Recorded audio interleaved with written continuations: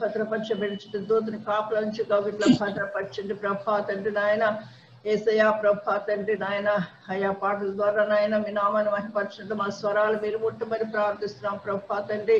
అయా మీ దీనదాసున్న ప్రభా మీ సిలువు చాట మరుగుపరుచుకున్నట్టు ప్రభా తండ్రి అయా వాక్యమై ఉన్న దేవా కృపా సత్య సంపూర్ణగా మా మధ్య నివసిస్తున్న తండ్రి మీ పాదలకు వేలాది స్తోత్రాలు ప్రభా తండ్రి నాయన మీ బిడ్డను మరుగుపరిచి ప్రభా తండ్రి మీరే మాతో మాట్లాడమని ప్రార్థిస్తున్నాం ప్రభా అయా ఏడంతల ఆత్మతో బిడ్డను అభిషేకించండి ప్రభా ఆయన కొలతలేని ఆత్మను అనుగ్రహించండి ప్రభా Yes, my Lord. Yes, my Lord. యేసయ్యా, మీ పరిశుద్ధాత్మ శక్తిని అనుగ్రహించండి Yes, yes.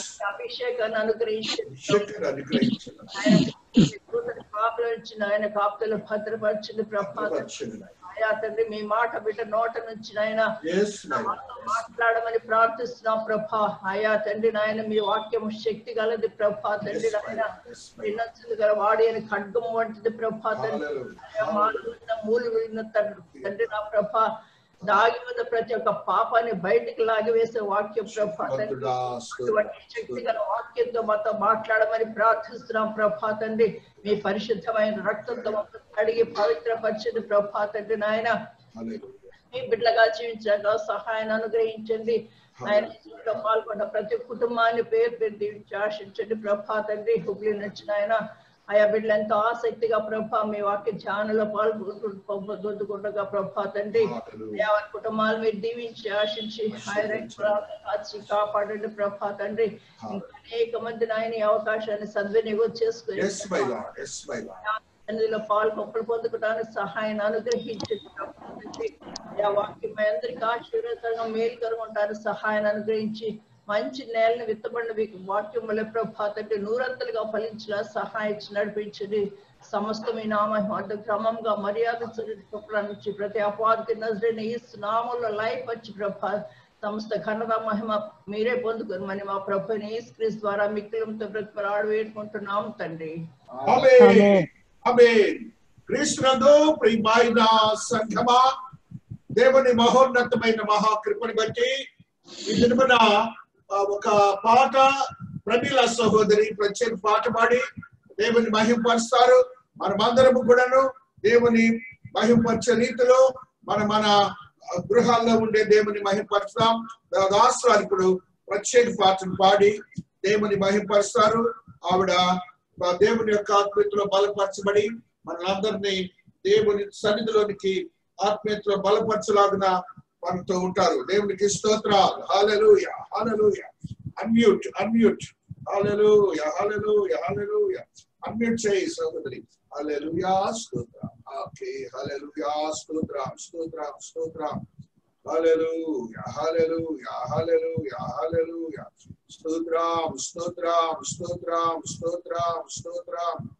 స్తోత్ర స్తోత్ర స్తోత్ర స్తోత్ర. అన్మ్యూట్ చేయండి అన్మ్యూట్ చేయండి.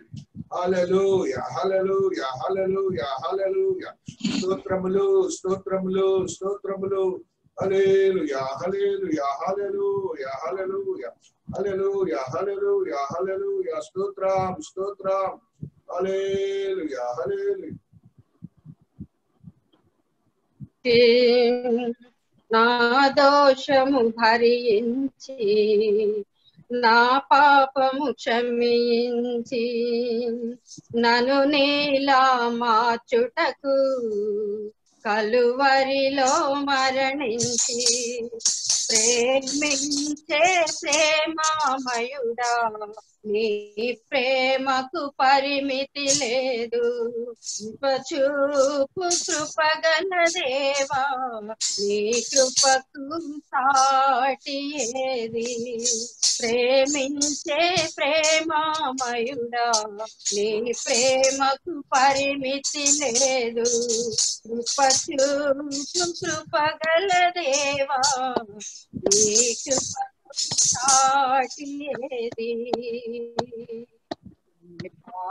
పాటిదాననయా నన్నింతగా హెచ్చించుటకు నేనెంతటి దాననయా నాపై కృప చూపుటకు పాటిదాననయా కష్టాల కడలిలో కన్నింటిలో ఎలలో నా తోడు నిలిచావు. నన్ను ఆదరించావు కష్టాల కడలిలో కన్నీటిలో ఎలలో మా తోడు నిలిచావు. నన్ను ఆదరించావు అందరూ నన్ను విడచిన నన్ను విడువని ఏసయ్యా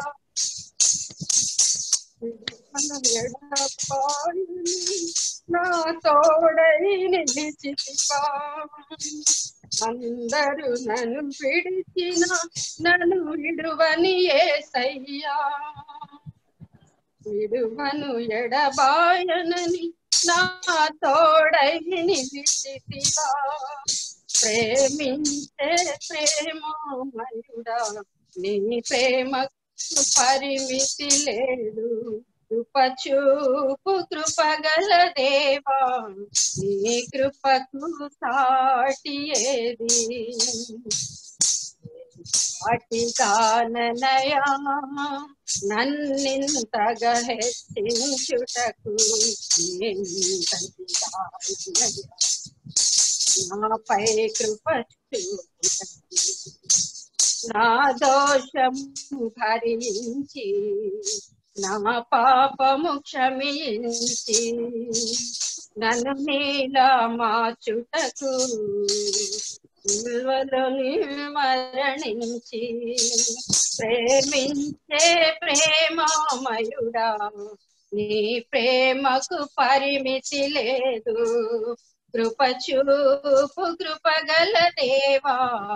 నీ కృపకు సాటి ఏది? పాటి దాననయా. నీ ప్రేమను మరువలేనయ్యా. నీ సాక్షిగా బ్రతికెదనేసయ్యా. నేనొందిన నీ కృపను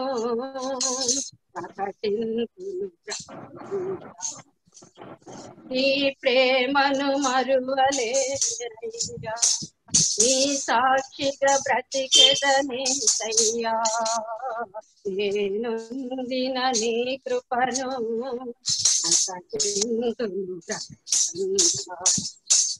నేనుందిన ఈ జయము నీవిచ్చినదేనయ్యా. నీవిచ్చిన జీవముకై స్తోత్రము ఏసయ్యా. నేనొందిన ఈ జయము నీవిచ్చినదేనయ్యా. నీవిచ్చిన జీవముకై స్తోత్రము ఏసయ్యా. ప్రేమించే ప్రేమమయుడా నీ ప్రేమకు పరిమితి లేదు. కృపచూపు కృపగల దేవా నీ కృపకు సాటి ఏది? సాటి దాననయా నన్నింతగా హెచ్చించుటకు.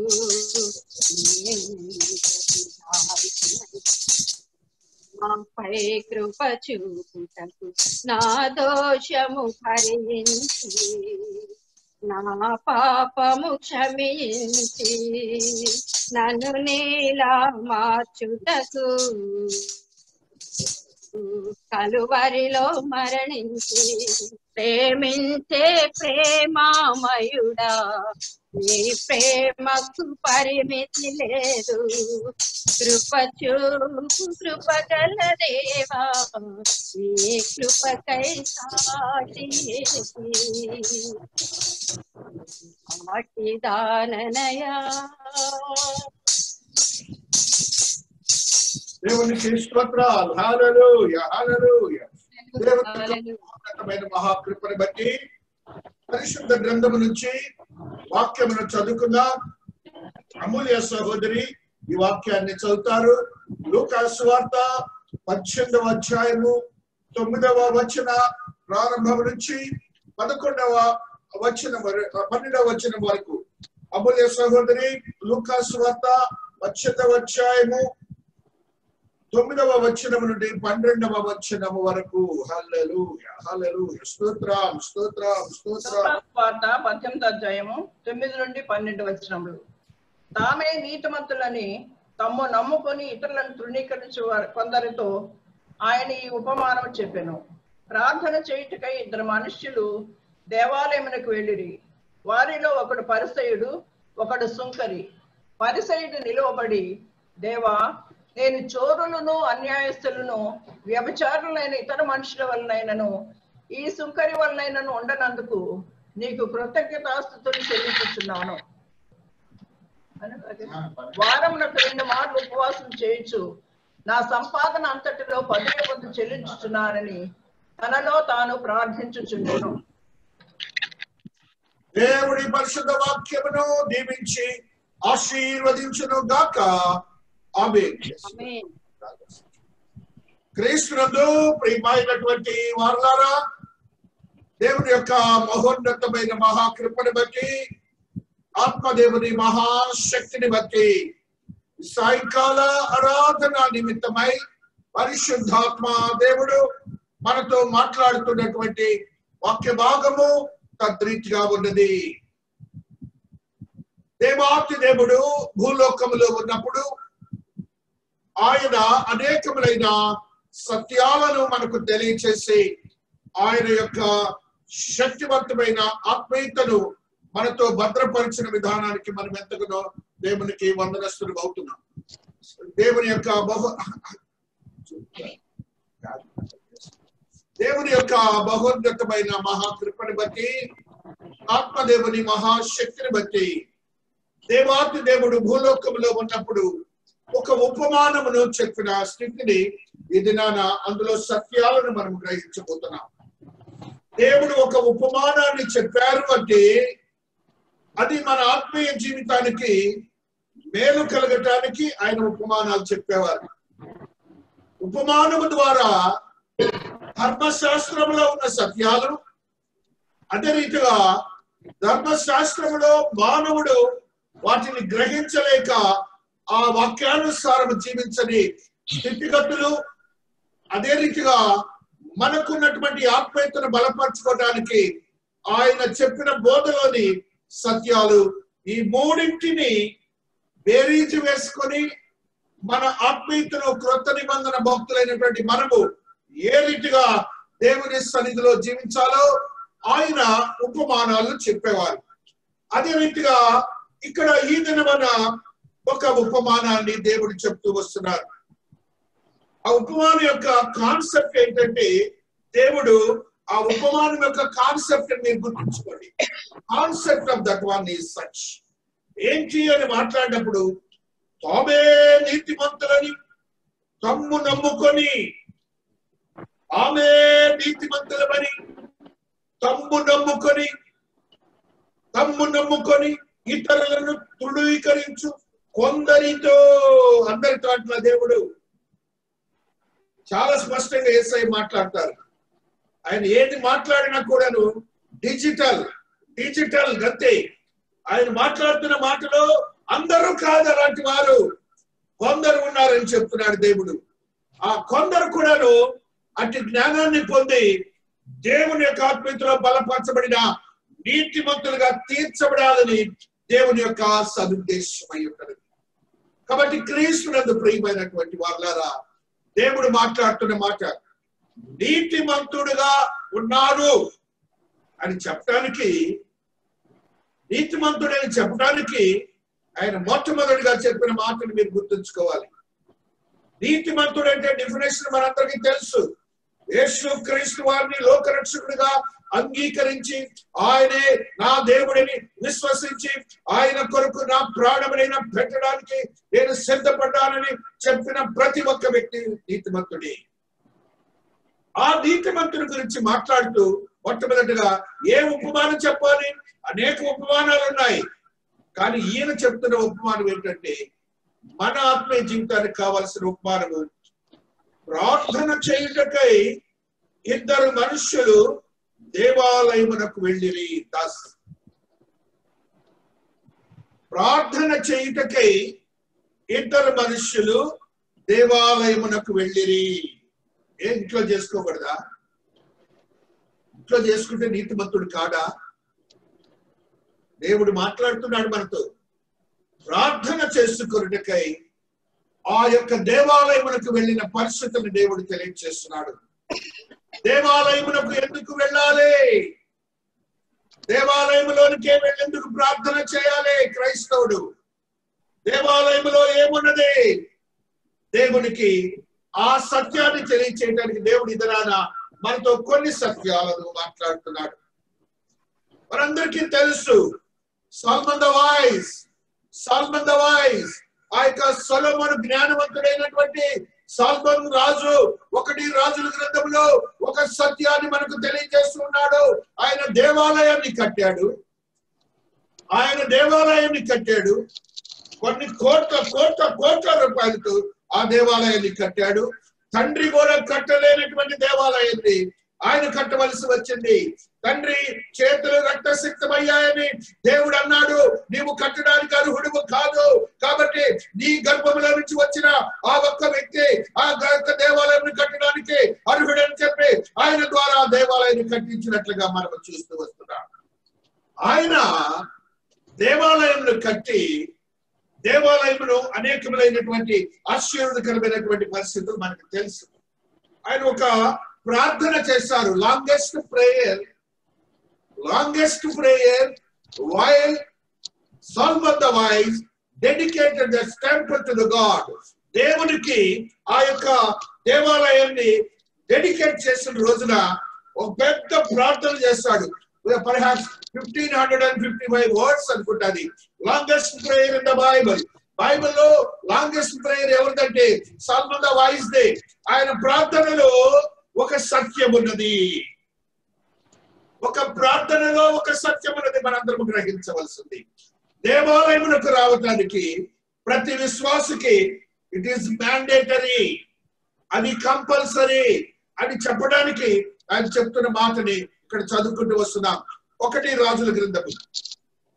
ఎనిమిదవ అధ్యాయంలో ఉన్న సత్యాన్ని ఈ రీతిగా మనం చదువుకుంటూ వస్తున్నాం. హలలు యహలలు యహలలు హల్లెలూయా. అది నలభై ఒకటవ వచనము. మరియు ఇస్రాయేలీలకు నీ తనుల సంబంధులు కానీ పరదేశులు నీ నామమును బట్టి దూరదేశము నుండి నీ ఘనమైన నామమును గుర్చి నీ బాహుబలమును గుర్చి నీవు చాపిన బాహు ప్రసిద్ధిని గుర్చి విందరు. వారు వచ్చి ఈ మందిరము తట్టు తిరిగి ప్రార్థన చేసిన ఎడలా. సాల్మన్ ప్రార్థనలో సత్యాన్ని మీరు అడగాలి సాల్మన్ దేవాలయాన్ని కట్టాక దేవాలయాన్ని గురించి ప్రార్థన చేస్తూ మనల గురించి కూడా ప్రార్థన చేస్తాడు అన్యులైన వారి గురించే. అన్యులైనటువంటి మనల గురించి కూడా ప్రార్థన ఇస్రాయేల్ ఇతరులైన మమ్మల గురించి కూడా ప్రార్థన చేశాడు ఆయన మనల గురించి ఏమైనా ప్రార్థన చేశాడు తెలుసా? చూడండి ఎట్లా వచ్చి ప్రార్థన చేయాలంటున్నాడంటే ఆయన నీ నీ హలలుయా హలలుయా నీ పరదేశులను నివాస స్థలమందు విని పరదేశులు నిన్ను వేడుకొని ప్రకారము సమస్తమును అనుగ్రహించము. సమస్తాన్ని ఏది ప్రార్థన చేస్తారో ఆ సమస్తాన్ని నువ్వు అనుగ్రహించని ఎక్కడికి వస్తే దేవాలయానికి వచ్చినప్పుడు అనుగ్రహించమని ప్రార్థన చేసినట్లుగా మనం కాబట్టి క్రీస్తునందు ప్రియమైనటువంటి వారులారా దేవాలయమునికి వచ్చి ప్రార్థన చేయటం అనేది దేవునికి ఇష్టమైన సంగతి. దేవాలయములో ఆత్మ కార్యములు జరుగుతాయి. ఆత్మతో నింపబడిన ప్రతి పరిస్థితి ఎక్కడ జరుగుతుందని దేవాతి దేవుడు తెలియజేసిన స్థితిని మనం అక్కడ చూస్తున్నప్పుడు ఆయన ప్రార్థనలోనే మరి యొక్క సత్యాన్ని మీకు ఇది నాన్న పది ముప్పై ఏడవ వచ్చినాది ఒకటి రాజులు ఎనిమిదవ అధ్యాయము ముప్పై ఏడవ వచ్చినము ఈ దేవాత దేవుడు లిఖించబడ్డారు దేశమందు చాలా జాగ్రత్తగా వినాలి.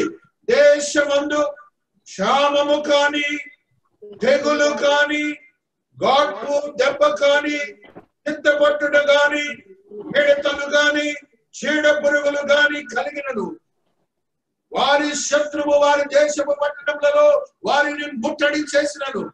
ఏ తగులు కాని వ్యాధి కాని కలిగినను. ఇస్రాయేలీలకు నీ దినలలో ప్రతి మనిషి తన తన మనోవ్యాధిని తెలుసుకొను కదా.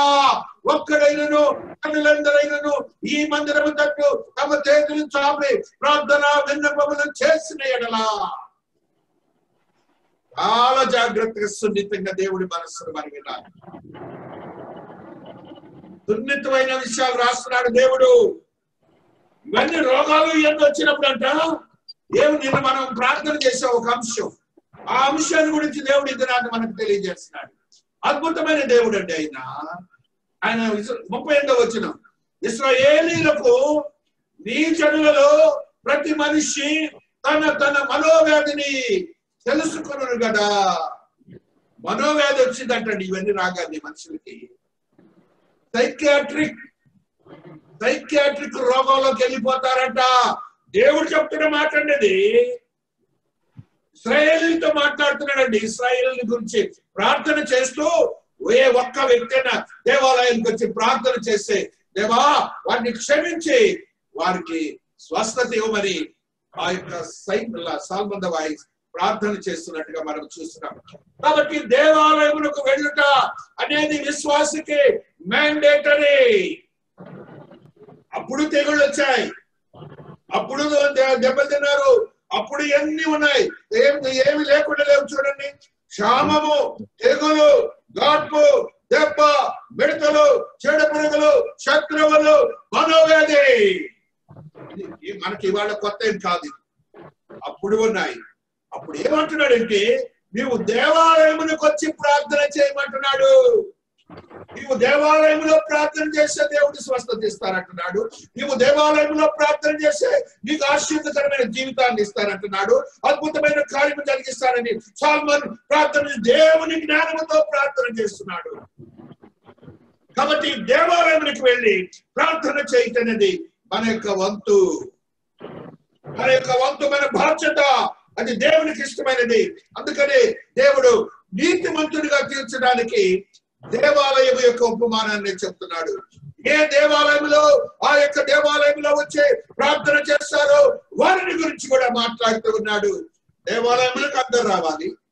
అక్కడ నీతిమంతులుగా చెప్పబడిన వారు ఉన్నారు. ఆ నీతిమంతులుగా చెప్పబడిన వారు ఏ రీతిగా ఉన్నాడో ఆ ఆ విధానాన్ని కూడా చెప్తున్నాడు. చూడండి వారి గురించి ఆయన చెప్తూ కమ్ము తమ్ము నమ్ముకొని.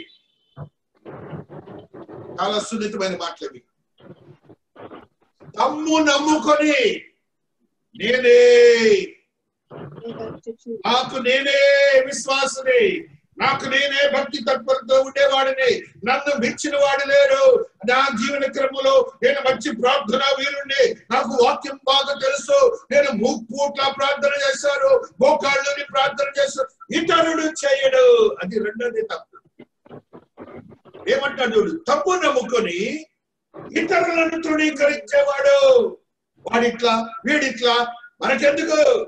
దేవుడు అదే చెప్తున్నాడు. నీతిమంతుడికి ఈ భావన ఉండకూడదు.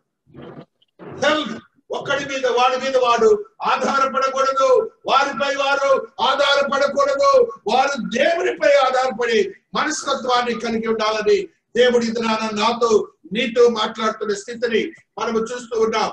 డిట్రోనమీ ద్వితీయోపదేశ కాండములు ఒక సత్యాన్ని చదువుకున్న ద్వితీయోపదేశ కాండము పన్నెండవ అధ్యాయము పదిహేనవ వచనములో ఆత్మదేవుడు ఒక సత్యాన్ని మనకు తెలియచేస్తూ ఉన్నారు.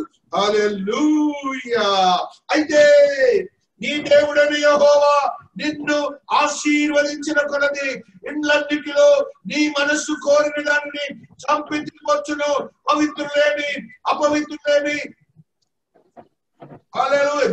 జింకను చిన్న దుప్పని తిన్నట్లు తినవచ్చును దేవునికి స్తోత్రాలు. హలలు హలలు పన్నెండు ఐదవ వచ్చినము హల్లెలూయా. మీ దేవుడైన యహోవా మీ సమస్త గోత్రములలో తన నామమును స్థాపించుకున్నకు నివాస స్థానముగా ఏర్పరచుకుని స్థలమును వెదకి అక్కడికే యాత్రలు చేయించుండవలను మీ దేవుడైన యహోవా మీ సమస్త గోత్రములలో తన నామమున స్థాపించుకొనుటకు నివాస స్థానముగా ఏర్పరచుకుని స్థలమును వెదకి అక్కడికే యాత్రలు చేయించుండవు వెదకి వెళ్ళాలండి దేవాలయానికి దేవాలయం దారి ఎక్కడుందని వెతకి వెతకి వెతికి వెళ్ళమంటున్నాడు దేవాతి దేవుడు. దేవాలయంలో ఏమన్నదనేది దేవుడు మాట్లాడుతూ వస్తున్నాడు ఈ దినాల. దేవాలయంలో నీతి మంత్రికి బాధ్యత ఉన్నది. దేవాలయంలో ఆరాధించే బాధ్యత దేవాలయంలో ఉన్నదని చెప్తున్నాడు. పదహారు పదహారులో కూడా డిట్రానమీ మరొక సత్యాన్ని తెలియజేస్తున్నాడు. ద్వితీయోపదేశకాండము పదహారు పదహారులు ఏటికి? మూడు మారులనగా పొంగని రొట్టె పండుగలలోని వారము వారముల పండుగలోను పర్ణశాల పండుగలోను నీ దేవుడు యహోవా ఏర్పరచుకొని స్థలమున నీ మగవారందరూ ఆయన సన్నిధిని కనబడవలేదు మ్యాండేటరీ అంతే మ్యాండేటరీ నా దేవుని సన్నిధిలో ఏ రీతిగా ఉండాలనేది దేవుడు చెప్తా ఉన్నాడు. ఎత్తికి వెళ్ళాలి ఆయన సన్నిధికి. అందుకని యేసుక్రీస్తు వారు మీరు గమనించారో లేదు? పస్కా పండుగ వచ్చింది అంటే చాలు. ఎక్కడెక్కడ దాక్కునుండా గలలీలో తిరిగి ఆ ఏసయ్య ఆ కపర్ణ హోములో తిరిగే ఏసయ్య ఆ ఎరుశలేమునకు ఆ స్థలమునకు వెతకి వెతకి. ఆయన వచ్చి దేవుని ఆరాధించేవాడు. ఆయనను చంపుతారు. ఆయనను మరణమున గురి చేస్తారు. అయినప్పటికీ ఆయన లెక్క చేయలేదు. ఆయన కనుగొని అతడి నుండి బయటకు వెళ్ళినని వాక్కులు మనం అనేక పర్యాయాలు చూస్తూ ఉంటాం. దేవునికి స్తోత్రాలు చెప్పండి. హాలేదు మరి యొక్క సత్యాన్ని చూస్తున్నాం. హల్లెలూయా. కీర్తనల గ్రంథము. లో ఉన్న సత్యము. ఎనభై నాలుగు నాలుగులో దావీదు భక్తుడు ఒక సత్యాన్ని తెలియజేస్తున్నాడు. ఎనభై నాలుగు నాలుగు. నీ మందిరమందు నివసించు వారు ధన్యులు నీ మందిరమందు నివసించు వారు ధన్యులు. వారు నిత్యము నిన్ను స్తుతించుదురు. చాలా తల్లి. చాలు చాలు చాలు. నీ మందిరమునందు నివసించు వారు ధన్యులు. అంతే బ్లెస్డ్ ఆశీర్వదించబడే వారుగా ఉంటారు. ఆ దేవాలయములనేది దేవుడు మాట్లాడుతున్న స్థితిని మనం చూస్తున్నాం. మనందరికీ తెలుసు దేవాలయం దగ్గరికి అపస్సుల కార్యములో ఒక వ్యక్తి మందాకే అనే మహారాణి దగ్గర ఆ ఫైనాన్స్ మినిస్టర్గా చేస్తాడు అతను అతను దేవుని నమ్ముకోలేదు. అయితే దేవుని ఎందు అత్యాశ కలిగిన వాడిగా ఉంటున్నాడు. ఏ సాల్మండవాయి ప్రార్థన చేశాడు ఆ ప్రార్థనలో ఉన్నటువంటి సత్యమును బట్టి ఆయన ఆ యొక్క దేవాలయంలోకి వచ్చి ఆ ప్రదర్శన చేసి ప్రార్థించుకొని తిరిగి వెళ్తున్న స్థితిని కూడా మనం ఈ గ్రంథంలో చూస్తాం.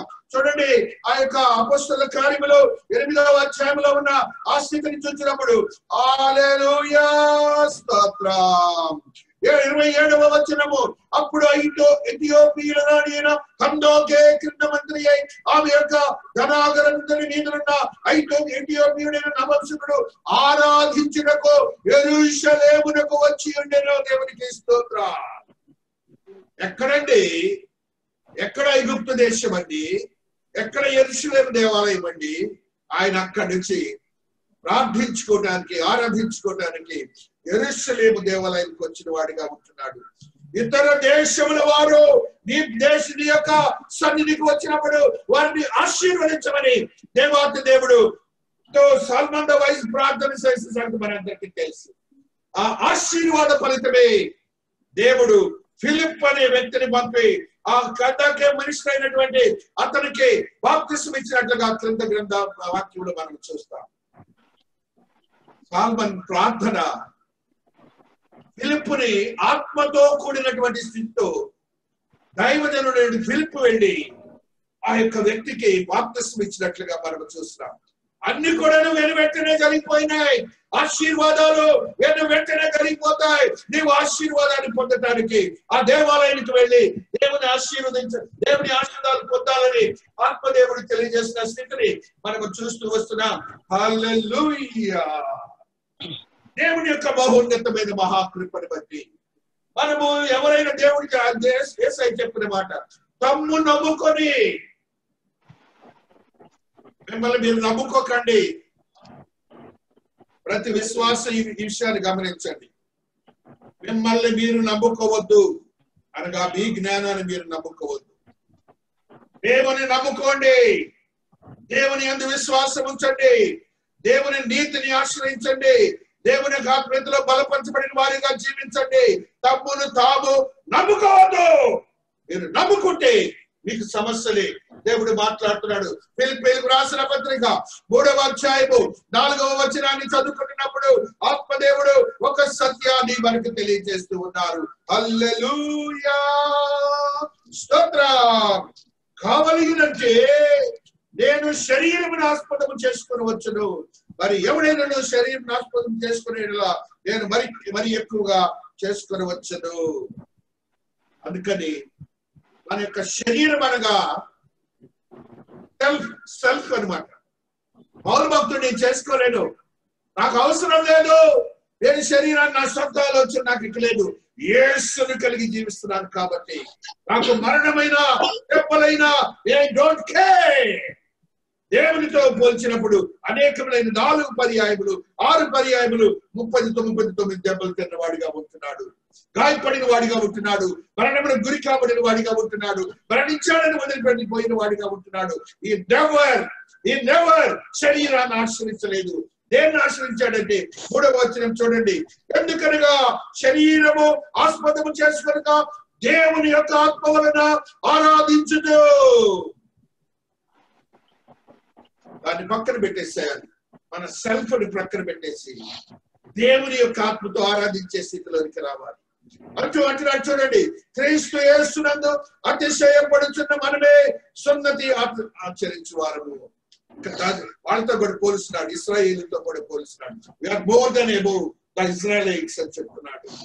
కాబట్టి క్రీస్తునందు ప్రియమైనటువంటి వారులారా మనం ఎప్పుడు కూడాను ఆత్మతో నింపబడిన వారము మన శరీరానుసారముగా జీవించకూడదు. శరీర ఆలోచనలు మనకొద్దు. మనం దానిపై ఆధారపడవద్దు అదే పౌలు భక్తుడు చెప్తున్నాడు డోంట్ డూ లైక్ దట్ అంటున్నాడు. ఒకటి తిమోతి ఆరు పదిహేడులో మరొక సత్యాన్ని చదువుకుంటూ వస్తున్నా.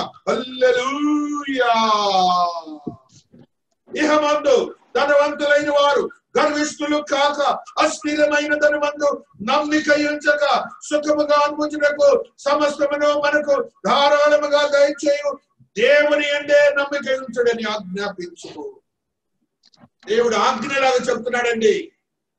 దేవుని అంటే నమ్మిక ఉంచుకోమంటాడు అన్లెస్ అండ్ అదర్వైజ్ మనము దేవునిపై ఆధారపడకపోతే అనేకములైనటువంటి దుస్సంఘటనలు మన జీవితాల్లో చూస్తాం. ఏ మాత్రము కూడా దేవుడు ఊరుకోడు. ఆయన కరెక్ట్గా మాట్లాడే దేవుడుగా ఉంటున్నాడు. మరి ఒక సత్యాన్ని చెప్తున్నాడు చూడండి. మార్కు వార్త పదవ అధ్యాయము ఇరవై నాలుగో వచ్చినాన్ని చదువుకున్నప్పుడు ఆత్మదేవుడు ఒక సత్యాన్ని మనతో మాట్లాడుతూ వస్తున్నాడు. ఆయన మాటలకు శిష్యులు విస్మయముందరి అందుకు యేసు తిరిగి వారితో ఇట్లనెను. పిల్లలారా తమ ఆస్తి అందు నమ్మిక ఇచ్చువారు దేవుని రాజ్యములో ప్రవేశించిన ఎంతో దుర్లభము. అంటే కాన్సెప్ట్ ఏంటంటే దేవుని మీద ఆధారపడండి నీకున్న దాని మీద శరీరాక్షల మీద ఆధారపడకండి. అవి అవసరమే కానీ ఆయనకి ఇవ్వండి ప్రాధాన్యత. ఆయన పని ఆయన చేసుకుపోతాడని. దేవుడు తనే చెప్తున్నాడు. ఏం చెప్తున్నాడంటే ఆ లోకాసు వార్తలో మళ్ళీ రండి అక్కడికి. ఆయన మాట్లాడిన మాటని ఆయన ఎంత స్పెషల్గా మాట్లాడతారంటే ఒక సెంటెన్స్లోనే పెద్ద భావాన్ని మనకు తెలియజేస్తున్నారు తమ్మును నమ్ముకొని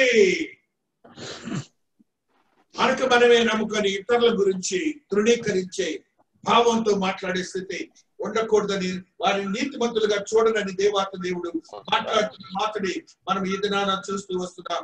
హల్లెలూ ఒకటి తిమోతి ఆరు ఆరులో మరొక సత్యాన్ని చదువు వస్తున్నాం. హల్లెలూయా స్తోత్ర. సంతుష్టి సహితమైన దైవ భక్తి గొప్ప లాభ సాధనమై ఉన్నది. సంతుష్టి సహితమైన దైవ భక్తి గొప్ప లాభ సాధనమై సాధనమైనది వాక్యం అలా చెప్పారంటే దానికి ఇంకా నో అంబిగ్విటీ నో అంబిగ్విటీ అది లాభ సాధకమై ఉంటుంది. సంతుష్టి సహితమైన దైవ భక్తి అంటే శారీరానుసారమైనటువంటి దైవ భక్తి వద్దు అంటున్నాడు ఆయన.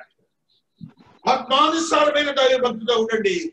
అది ఏమో ప్రాఫిటబుల్ ఎకనామికల్ టర్మ్స్లో చెబుతున్నాడు దేవుడు.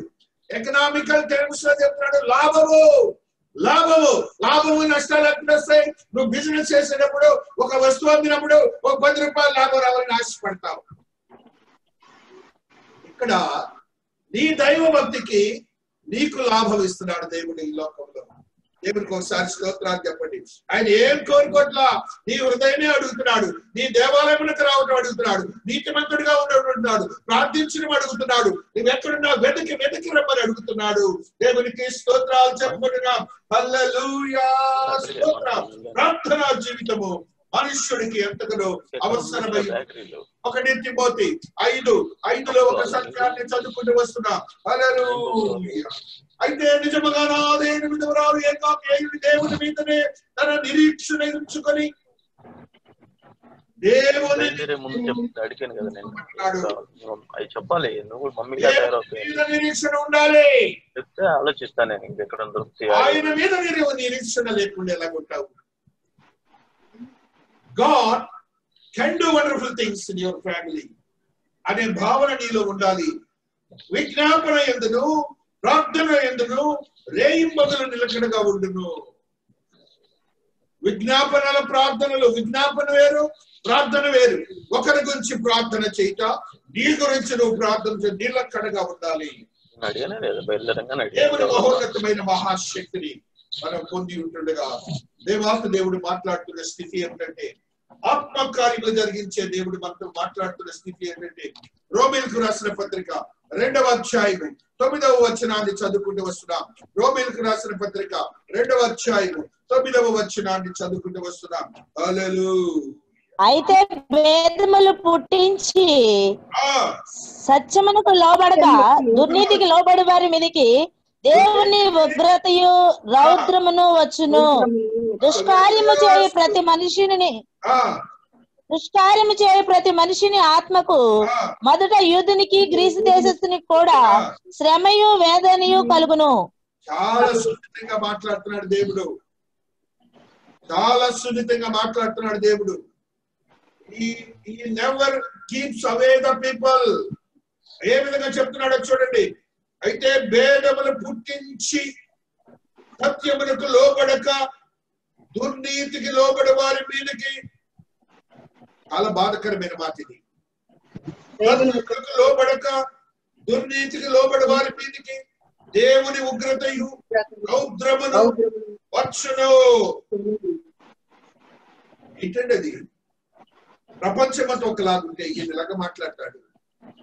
ఆ మీద ఆధారపడండి ఇదేమి రాదంటాడు దుర్నీతి అంటాడు. ఆయనతో జీవించకపోవటమే దుర్నీతట అటు ఆయన అంటున్నాడు చూడండి ప్రతి మనుష్యుని ఆత్మకు ప్రతి మనుష్యుని ఆత్మకు ఏం జరుగుతుందట? శ్రమయు వేతనయు కలుగును. ఆత్మకు శ్రమ వేదన కలుగుతుంది. నీవు నీతితో దేవుని యొక్క ఆరాధన క్రమంలో లేకపోతే దేవుడు స్పష్టంగా ఈ దినాన మనందరితో మాట్లాడుతున్నాడు. మూడు ఇరవై రెండులో కూడా మరి యొక్క సత్యాన్ని చదువుకుంటూ వస్తున్నాం. అది యేసుకృష్ణండ్లి విశ్వాస మూలమైనది. నమ్ము వారందరికీ కలుగు దేవుని నీతి అయి ఉన్నది. అమ్మవారందరికీ కలుగు దేవుని నీతి అయి ఉన్నది. క్రీస్తు యేసు రక్తమందరి విశ్వాసము ద్వారా ఆయనను కరుణాధారముగా బయలుపరిచను. దేవుడు ఇప్పటి కాలమందు తన నీతిని కనబరచు నిమిత్తము తాను నీతిమంతుడును యేసునందు విశ్వాసము గలవారిని నీతిమంతుడుగా తీర్చువాడనైనటకు ఆయన అలాగు చేశాను అంటే నా ఏసై చేసిన సులుమాల మీద చేసిన క్రియనంతా నువ్వు దోషాలు పడేశావు నువ్వు చేసిన ఏసయ్యా నువ్వు చేసిన క్రియ అసలు వృధా అంటున్నావు. అది దేవుడు ఇప్పుడు మాట్లాడుతుంది. దేవుడు మాట్లాడుతున్న మాట స్పష్టంగా మాట్లాడుతున్నాడు. క్రీస్తు యేసు రక్తమందలి విశ్వాసము ద్వారా ఆయనను కరుణాధారముగా బయలుపరచను. దేవుడు ఇప్పటి కాలమందు తన నీతిని కనబరిచిన నిమిత్తము తాను నీతిమంతుడును యేసునందు విశ్వాసము గలవారిని నీతిమంతుడుగా తీర్చువాడని అలాగు చేసి ఎలా చేశాడు. శిలుమాని మీద మరణించి రక్తమని ప్రోషించి నీ కోసం గాయపడి ఆయన అవమానపడి ఆయన వృధా ఆయన చెంత దెబ్బలు తగిలించుకొని ఉమ్మి వేసుకొని చేశాడే అదంతా వృధా అయిపోయింది. అదంతా వృధా అయిపోయింది నీ గురించి నా గురించి. దేవుడు స్పష్టంగా మాట్లాడుతున్నాడు. నీతిమంతుడిగా చేయాలని ఆయన వచ్చారు భూలోకానికి.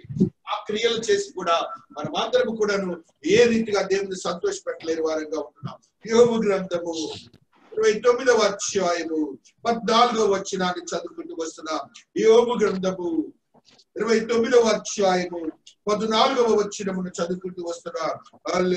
నేను నీతిని వస్త్రముగా ధరించుకుని ఇంటిని. ఆ, కనుక అది నన్ను ధరించెను. అది నన్ను ధరించెను. నా న్యాయ ప్రవర్తన నాకు వస్త్రమును పాగాయు ఆయను. చాలా తల్లి. నేను నీతిని వస్త్రముగా ధరించుకొని కనుక అది నువ్వు ఎప్పుడైతే నీ విశ్వాసాన్ని దేవుడికి కనపరుస్తావో దేవుడు నిన్ను ధరించుకుంటాడు. You will be the righteous person for the God and you will be the righteous government to the God నీవే ఒక నీతిమంతుడి వస్త్రాన్ని దేవుడు నిన్నిలాగా ధరించుకుంటాడు. యోగు సాక్ష్యమండి యోగు సాక్ష్యం అండి. నేను ధరించుకున్నానని ఆయన చెప్తున్న మాటని మనం చూస్తూ వస్తున్నాం. యష్యా గ్రంథము అరవై ఐదు పదిలో ఒక సత్యాన్ని చదువుకుంటున్నాం. యష్యా గ్రంథము అరవై ఐదు పదిలో ఒక సత్యాన్ని చదువుకుంటూ వస్తున్నాం. హల్లెలూయా స్తోత్రం స్తోత్రం స్తోత్రం. హల్లెలూయా స్తోత్రం స్తోత్రం స్తోత్రం. నన్ను గూర్చి విచారణ చేసిన నా ప్రజల నిమిత్తము ఫరోను గొర్రెల మేత్రమి భూమి ఎగును ఆకోరులోయ పశువులు పరుడు స్థలముగా ఉండును యహోవాను విసర్జించి నా పరిశుద్ధ పర్వతమును మరిచి గాదులకు బల్లను సిద్ధపరచు వారులారా ఆయన ఎలాగా ఆయనను మరచిన వారిని ఎవరెవరితో పోలుస్తున్నారో చూడండి. యహోవాను విసర్జించి నా పరిశుద్ధ పర్వతమును మరిచి గాదులకు బల్లను సిద్ధపరచు వారులారా అదృష్ట దేవికి పానీయార్పణగా అర్పించు వారలారా. నేను పిలువగా మీరు ఉత్తరం ఇయ్యలేదు. నేను మాట్లాడుగా మీరు ఆలకింపుకు నా దృష్టికి శబ్దదానిని చేసిందని నాకిష్టము కాని దాని కోరితని నేను ఖడ్గమును మీకు అదృష్టముగా నియమించుదును మీరందరూ వదకుల్లో నగుదురు దేవుడు మాట్లాడుతున్న మాటలు మనం వినాలి. స్పష్టంగా మనం నేను పిలువగా మీరు ఉత్తరం ఇయ్యలేదు. ఎక్కడ పిలుస్తాడండి ఆయన మనల్ని? ఇక్కడ పిలుస్తాడండి దేవుడు మనల్ని. దేవాలయంలో పిలుస్తాడు. మనకంటే ముందుగా వచ్చి అక్కడ ఉంటాడు. అక్కడ ఉండి పిలిచినప్పుడు ఆయన లిస్ట్ బుక్ల పేర్లన్నీ పిలుస్తుంటాడు. పిలిచినప్పుడు మనకు కనపడకపోతే చాలా బాధపడతాడు నా దేవుడు. చాలా బాధపడతాడు నా దేవుడు. సామెతలు పది పన్నెండులో మరొక సత్యాన్ని స్వల్మంద వైద్యు రాస్తున్నాడు చూడండి. పది పన్నెండు వచ్చిన చదువుకుంటున్నాం. స్తోత్రం స్తోత్రం. వివేకుని పెదవుల యందు జ్ఞానము కనపడును నీతి మంతుని నోరు జీవపు ఊట. భక్తిహీనుల నోరు బలత్కారము మరుగుపరచును. పదకొండ వచ్చిన నీతి మంతుని నోరు జీవపు ఊట. భక్తిహీనుల నోరు. రెండు దేవుని దృష్టిలో నీతిమంతుడు భక్తిహీనుడు. రెండే రెండు మాటలు. నీతిమంతుడి నోరులోనంటే జీవపు ఊట. రెండవ మాట ఏమంటున్నాడంటే ఆయన మాట భక్తిహీనులు నోరు బలత్కారము మరుగుపరచడు వాళ్ళ జీవితాలన్నీ కూడా అపవాది యొక్క కుతంత్రములతో భద్రపరచబడిన వారిగా ఉంటారు వారి జీవితాలు. దేవుడు స్పష్టంగా మనతో మాట్లాడుతున్నాడు. అలాంటి దుర్నీతి కలవంటి ఒక వ్యక్తిని మనం చూస్తాం. పరిశుద్ధ గంధంలో సత్యాకాండంలో ఉంటారు. ఆయన్నే పేతృ భక్తుడు కూడా రీఇటరేట్ చేసి చెప్తాడు. ఆ భక్తుడు మనందరికీ తెలుసు బిలాబు. రెండు పేతుడు రెండులో అతని గురించి ఆత్మవశుడై పేతుడు భక్తుడు చెప్తున్న మాటని ఈ రీతిగా చూస్తున్నాం. రెండో పేతుడు మూడవ అధ్యాయము పదిహేనవ వచ్చినాన్ని మనం చదువుకుంటూ ఉన్నప్పుడు ఆత్మదేవుడు మాట్లాడుతున్న మాటని తద్రీతిగా చదువుకుంటూ వస్తున్నాం. రెండు రెండు రెండు పదిహేను. ఎన్నని మార్గముని విడిచి బేయరు కుమారుడే బేయరు కుమారుడైన బిలాము పోయిన మార్గమును బట్టి త్రోవ తప్పిపోయిరి. ఆ, బిలాము దుర్నీతి వలన కలుగు బహుమానము ప్రేమించెను. అయితే తాను చేసిన అతిక్రమము నిమిత్తము అతడు గద్దింపబడిను. ఎట్లనగా నోరు లేని గాద్వము మానవ స్వరముతో మాట్లాడి ఆ. ప్రవక్త యొక్క వెరితనమును అడ్డగించెను. ఎవరితో మాట్లాడంట ఇప్పుడు నేను గాడిదని. ఇప్పుడు నేను గాడిదని దేవునికి. ఆయన మాట్లాడి ఆయన కావాల్సిన మాటలు మాట్లాడేది ఆయన కొరకు మాట్లాడేవాడు గాడిదే ఆయన దృష్టిలో. అయినా ఆ గాడిద సత్యాన్ని మాట్లాడింది. ఆ గాడిద సత్యాన్ని మాట్లాడి ఆ ప్రవక్తకు జ్ఞానాన్ని తెచ్చింది. ఆ ప్రవక్తకు జ్ఞానం సంఖ్యాకాండములు ఇరవై రెండవ అధ్యాయము ఐదవ వచనంలో చూసినప్పుడు అసలు సంఘటన అక్కడ జరిగిన సంఘటన చూస్తాం. సంఖ్యాకాండము ఇరవై రెండవ అధ్యాయము లో ఉన్న సత్యాన్ని చదువుకుంటూ వస్తున్నాం. హల్లెలూయా స్తోత్రం స్తోత్రం స్తోత్రం. హల్లెలూయా స్తోత్రం స్తోత్రం. కాబట్టి అతడు బయ్యూరు కుమారుడని బిలాముని పిలుచుటకు అతని జనుల దేశమందున నదుల బిడ్డ వరకు దూతల చేత ఈ వర్తమానం పంపిన చిత్తగించము ఒక జన్మ ఐగుప్తులో నుండి వచ్చును. ఇదిగో వారు భూతలమును కప్పి నా దిగి ఉన్నారు. కాబట్టి నీవు దయచేసి చేసి వచ్చి నా నిమిత్తము ఈ జనమును శపించము. వారు నాకంటే బలవంతులు. వారిని హతము చేయటం నేను బలవంతునేమో అప్పుడు నేను ఈ దేశములో నుండి వారిని తోలివేయదును ఎలాగా నీవు దీవించువాడు దీవువాడిను శపించువాడు శపింపడిను నేను ఎరుగుదును బిలాముకి ఆశ కలిగింది. దేవుడు గాడితో మాట్లాడాడు. దేవుడు మాట్లాడతాడు. ఆయనకు ఎవరి మీద ప్రేమ ఉందో వాళ్ళతో దేవుడు మాట్లాడతాడు. దేవునికి ఎవరి మీద ప్రేమ ఉందో వారితోనే మాట్లాడతాడు. దేవుడికి అవసరము. దేవుని దాసులకు అవసరము. దేవుని దాసులు ఏ రీతిగా మాట్లాడతారంటే దేవుని యొక్క అజ్ఞానుసారమే మాట్లాడతారు కానీ ఈ లోక మర్యాదల చొప్పున మాట్లాడండి. మనము గ్రహించాలి. ఏప్రిల్ రాసిన పత్రికలో మరి యొక్క సత్యాన్ని చదువుతున్నాం. ఏప్రిల్ రాసిన పత్రిక పదకొండు నాలుగులో ఉన్న సత్యాన్ని కూడా చదువుకుంటూ వస్తున్నాం. హల్లెలూయా. హల్లెలూయా. విశ్వాసముని బట్టి హేమలు కయ్యూరి కంటే శ్రేష్టమైన బలి దేవునికి అర్పించను. దేవుడు అతని అర్పణలను గురించి సాక్ష్యం ఇచ్చినప్పుడు అతడు ఆ విశ్వాసమును బట్టి నీతిమంతుడిని సాక్ష్యము పొందడు అతడు మృతి నందు ఆ విశ్వాసము ద్వారా మాట్లాడుచున్నాడు. దేవునికి స్తోత్ర. దేవుడు కేటగారికల్గా మాట్లాడుతున్నాడు. దేవుడు భక్తులు ఇరువురు భక్తులు ఏసే చెప్తున్నాడు భూలోకంలో. పరమనున్నటువంటి తండ్రి అయిన దేవుడు భూమి మీద ఉన్నటువంటి ఇరువురు భక్తులు చేసిన క్రియలను గురించి మాట్లాడు చెప్తున్నాడు. ఇరువురు కూడాను దేవుని సన్నిధికి అర్పణలు తెచ్చారు మనందరికీ తెలుసు. ఆ యొక్క కయ్యూరు అనే వ్యక్తి ఎక్కడి నుంచి తెచ్చాడంటే శపించబడిన భూమిలో నుండి తీసుకొని వచ్చాడు. శపించబడిన భూమిలో వచ్చినటువంటి పదార్థములను తీసుకొని వచ్చాడు. ఏదోలే నా దేవుడని ఆయన కొద్ది తీసుకొని వచ్చి ఇంట్లోకి వెళ్తా వెళ్తా ఒక గిన్నెను తీసుకొని వెళ్ళి ఆయన దగ్గర పెట్టాడు. కానీ ఏమి అలాగా చేయలేదు. ఆయన మొట్టమొదటి ఏ పశువు అయితే వస్తున్నదో జ్యేష్ఠ జ్యేష్ఠమైనటువంటి ఆ గొర్రెను దాచి ఇది నా దేవునికని దాచి ఉంచాడు. అది విశ్వాసం. ఇది నా దేవునిది. ఇది నా దేవుడు మరలా ఒక పశువు ఆ యొక్క గొర్రె ప్రసవించింది. ప్రసవించగానే మళ్ళా జ్యేష్ఠ పుత్రిక జ్యేష్ఠ పుత్రుడు తీసుకొని వచ్చి మరలా అక్కడ పెట్టాడు. జ్యేష్ఠుడైన వాడిని ఆరోగ్యవంతమైన వాడిని దేవునికి ఇష్టమైన వాడిని ఆ హేమేలు తీసుకెళ్ళి దేవునికి ఇచ్చాడు. కయ్యూనైతే చెప్పించబడిన భూమిలో నుంచి ఆ పదార్థాలను తీసుకొని ఇచ్చాడు దేవుడు అంగీకరించలేదు. నీతిమంతుని కానుకలను కూడా అంతే ఆశీర్వదిస్తాడు.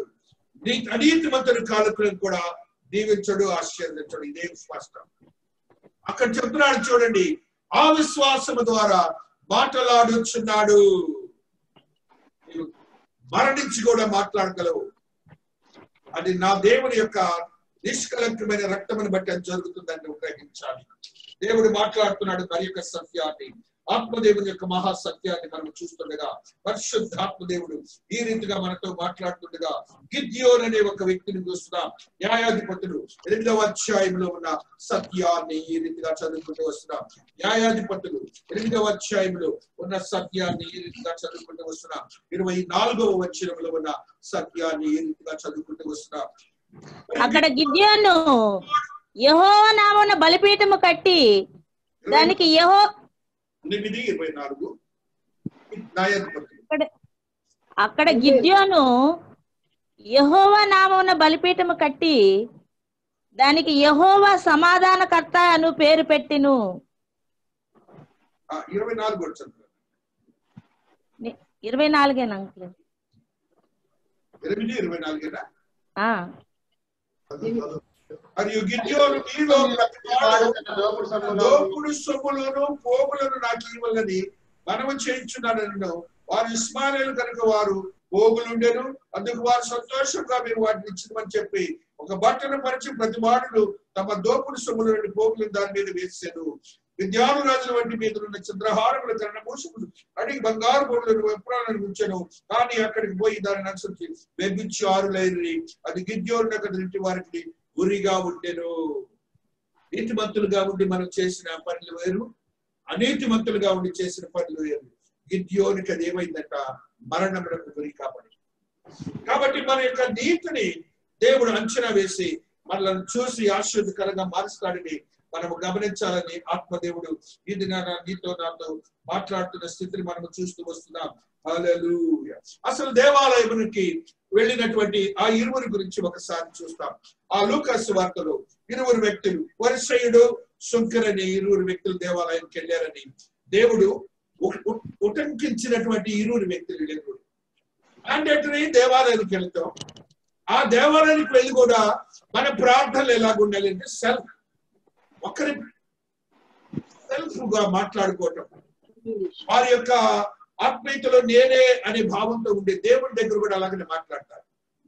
దేవా నీకు దర్శనం బాగా ఇచ్చాను దేవా నేను ఉపవాసం అంటున్నాను దేవా నేను బైబిల్ చదివాను. దేవా నేను ప్రార్థిస్తున్నాను. దేవా నా కుటుంబంతో నీతో ఉన్నది. అని ఆ విధమైన మాటలతో దేవుని దృష్టిలో మనం ఉండకూడదు. అసలు అది దేవునికి క్రొత్త భక్తులకి ఆ సంబంధమే లేదు. క్రొత్త నిబంధన భక్తులైనటువంటి మనకి అలాంటి సంబంధాలు లేవు. దేవుడు ఎలాగ చెప్తున్నాడని చూడండి. ఏమి మాటలు మాట్లాడుతున్నాడని చూడండి. అయితే అయితే అయితే కంజెక్టివ్ వర్డ్ ఇలాగ చెప్తున్నాడు. దేవాత దేవుడు ముందు చెప్పిన దానికి విరుద్ధమైన దానిని ఇలాగ చెప్తున్నాడు. ఏమని చెప్తున్నాడో చూడండి. చుక్కని దూరముగా నిల్చోండి. ఆకాశం వైపు కన్నులు ఎత్తుండగా నేను ధైర్యము చాలక రొమ్ము కొట్టుకొనుచు దేవా ఆపినైన నన్ను కరణించమని పలికెను. సింపుల్. పశ్చాత్తాపమే దేవుడికి కావాలి. నువ్వు పశ్చాత్తాపంతో దేవునికి ఏది ఇచ్చినా కూడా దేవుడు దాన్ని ఆశీర్వదించి ఫలింప చేస్తాడు నూరంతల ఫలితాలు దయచేస్తాడు దేవా దేవుడు. నిన్ను నీ బిడలను ఆశీర్వదించి నీ చేతి పనిని ఆశీర్వదించి ఫలింపు చేసి నూతనమైన అనుభవాలతో నింపుతాడని వాక్యము సెలవిస్తూ ఉన్నది. దేవునికి ఒకసారి స్తోత్రాలు చెప్పండి. హల్లెలూయా. హల్లెలూయా. ముప్పై ఒకటో వచ్చాయి పదమూడవ వచ్చినాన్ని చదువుకుంటూ వస్తున్నాం. జోమియా ఇరవై ఒకటి ముప్పై ఒకటి పదమూడవ వచ్చినాన్ని మనం చూస్తున్నప్పుడు ఆత్మదేవుడు ఈ రీతిగా మాట్లాడుతూ ఉన్నాడు. థర్టీ వన్ థర్టీన్ హల్లలుయా స్తోత్రం స్తోత్రం హల్లెలూయా స్తోత్రం స్తోత్రం స్తోత్రం. Power power of the Lord is working over here వారి దుఃఖమునకు ప్రతిగా సంతోషం ఇచ్చి వారిని ఆదరించదును. విచారము కొట్టివేసి నేను వారికి ఆనందము కలుగ చేతును కనుక. కన్యకలను యవనులను వృద్ధులను కూడి నాట్యమందు సంతోషించుదరు. దేవునికి స్తోత్రాలు చెప్పండి.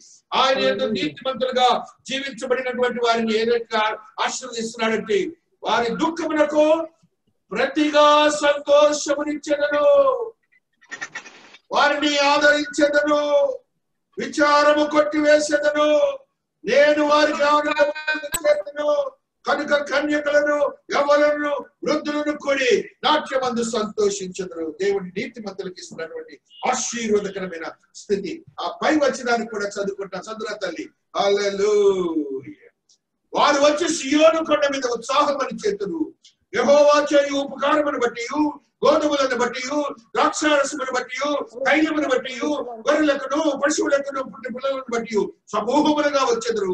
వారికి వెన్నటిని కృషించక నీళ్ళు పారు తోట వలె ఉందరు. దేవుని ఆలయంలో ఉన్నటువంటి ఆశీర్వాదకరమైన స్థితి దేవుని ఆలయంలో ఆ రీతిగా దేవుని ఆలయంలో ఉన్నటువంటి ఆశ్చర్యకరమైన స్థితిని మనం పొందుతుండగా దేవుని ఆలయంలో ఏముంటుంది? దుఃఖమునందు ఆశ్రయము. దుఃఖమునందు ఆశ్రయము. యశ భక్తుడు ముప్పై ఒకటవ ఏడవ అధ్యాయం. పదకొండవ వచనాన్ని చదువుతున్నప్పుడు దుఃఖమునందు ఆశ్రయము నీ యొక్క సంఘము. దుఃఖమునందు ఆశ్రయము నీ దేవాలయము. చదువుర తల్లి. అశ్షూరు రాజులు సకల దేశములను కొద్దిగా నశింప సంగతి నీకు వినపడింది కదా? నీవు మాత్రమే తప్పించుకుందువా నీ నా పితను నిర్మూలనము చేసి దేవుని యొక్క ఆశ్చర్యకరమైనటువంటి ఆరాధనలు నిజములు తెల్లారు ఏదేమి దేవతల సహాయములు తప్పించుకొనిరా. అమాకు రాజు ఏమైను అక్బాద్ రాజు ఏమైను ఏనా అవ్వాలి పట్టణములు రాజులు ఏమైను రాసరి హిజ్కియా దూతల చేతిలో నుండి ఉత్తరము తీసుకుని చదివి. యహోవా మందిరములోనికి పోయి యహోవా సన్నిధిని దాని విప్పి పరచి యహోవా సన్నిధిని ఇట్లి ప్రార్థన చేయగా.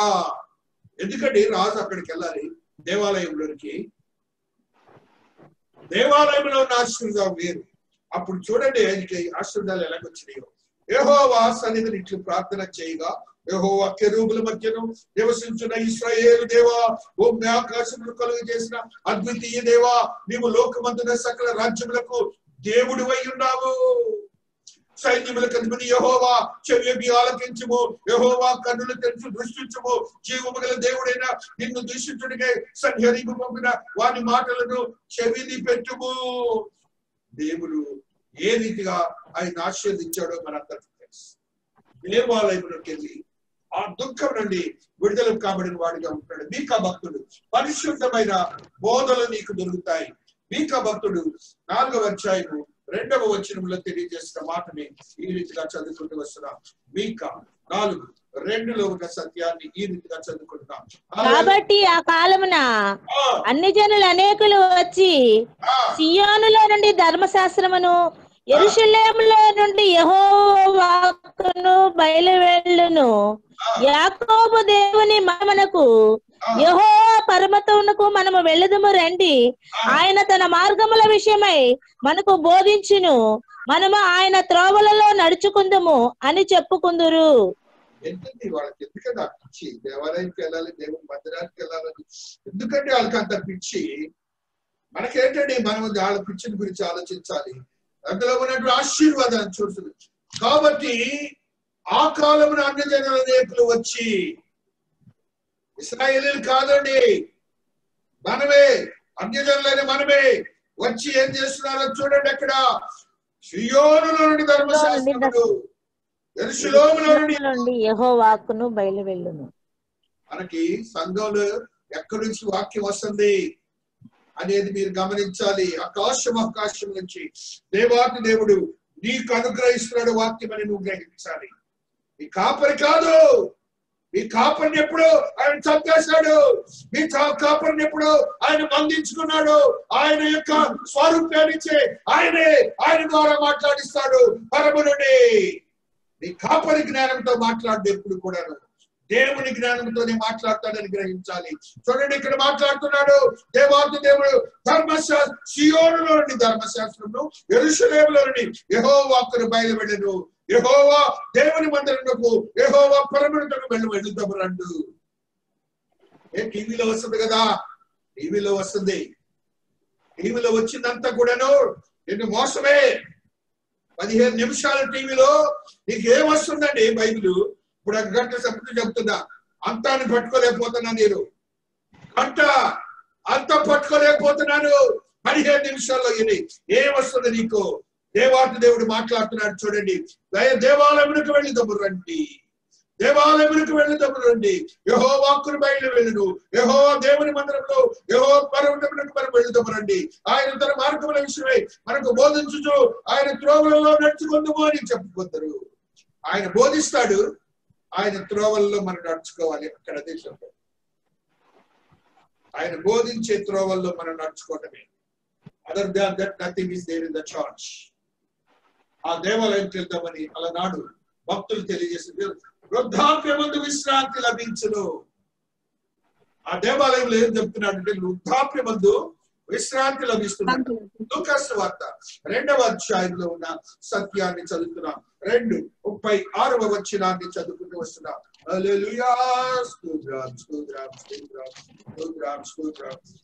మరియు అషేరు గోత్రికుల సమయాలు కుమార్తెనైన అన్న ఒక ఒక ప్రవృత్తి ఆమె కన్యాకు మొదలు ఏడేండ్ల పెరిమిటితో సంసారం చేసి బహుకాలము గడుచున్నాయి. ఎనిమిది నాలుగు సంవత్సరంలో విధవరాలైంది. దేవాలయము విడువక ఉపవాస ప్రార్థనలతో రేయింబగుడి సేవ చేయించుండెను.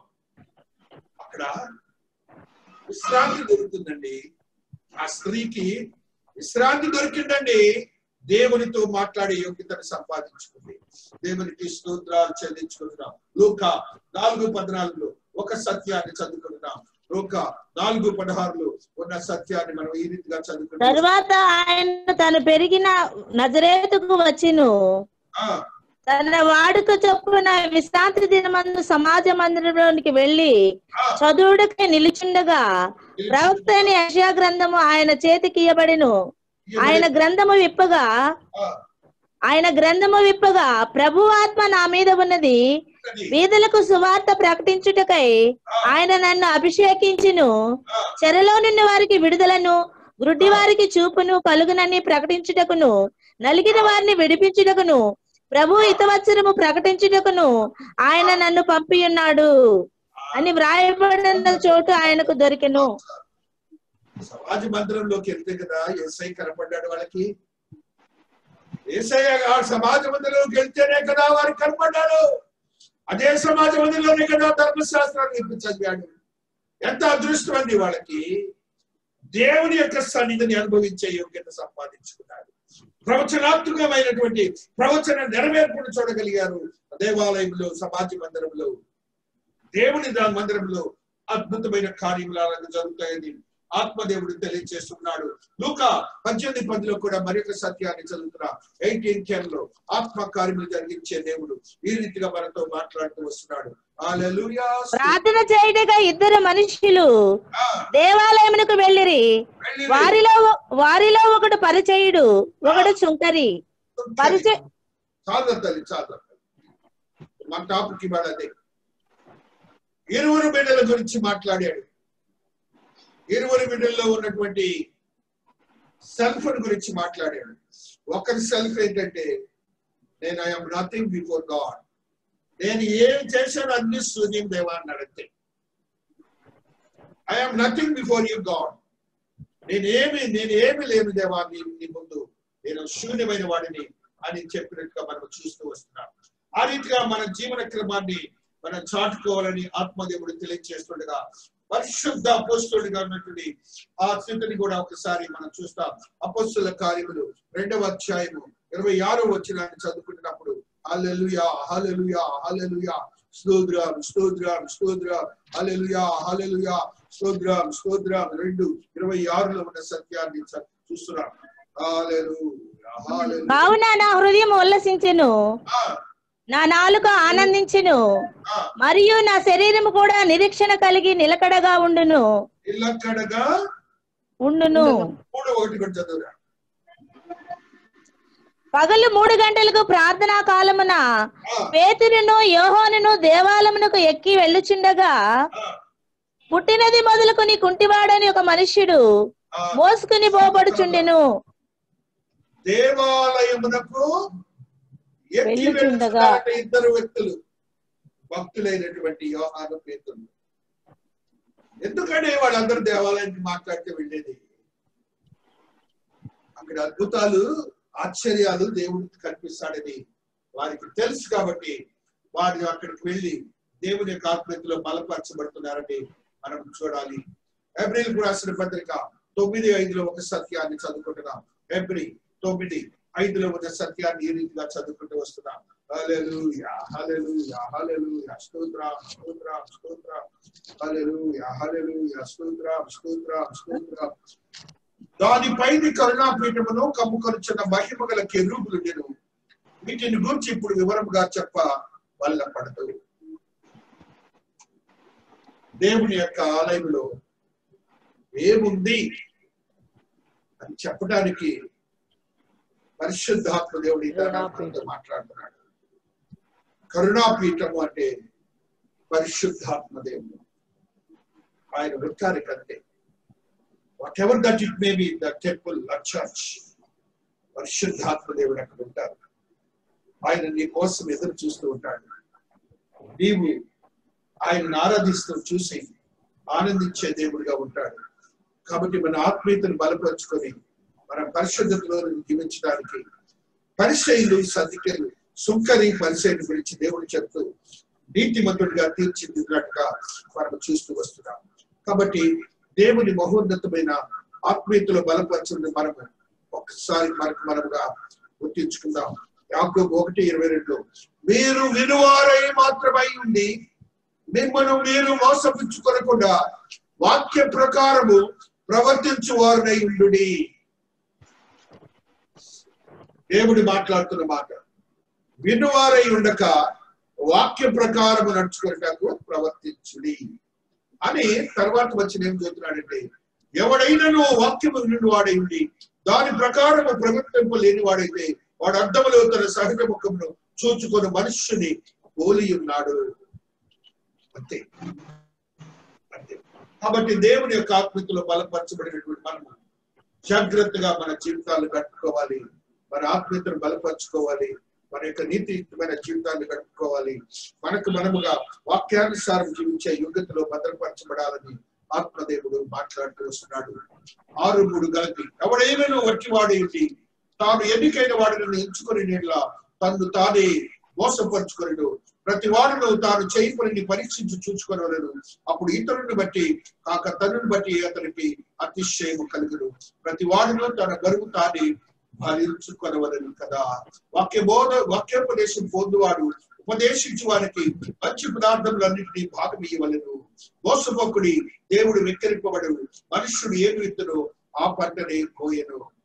అంతే. మనం ఏది విత్తుతామో ఆ పంటే దేవుడు కోస్తాడు.